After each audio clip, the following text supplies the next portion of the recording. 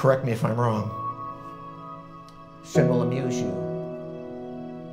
but then sin will abuse you. Sin will blind you, sin will bind you.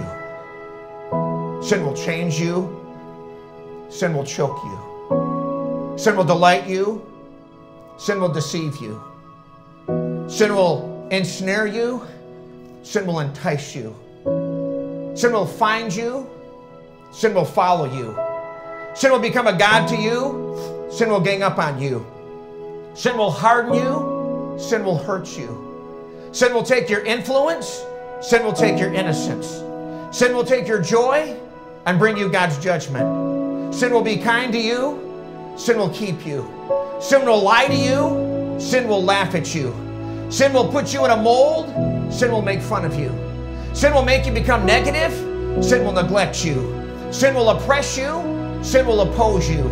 Sin will possess you, sin will pursue you. Sin will cause you to quit on God, sin will quench the spirit.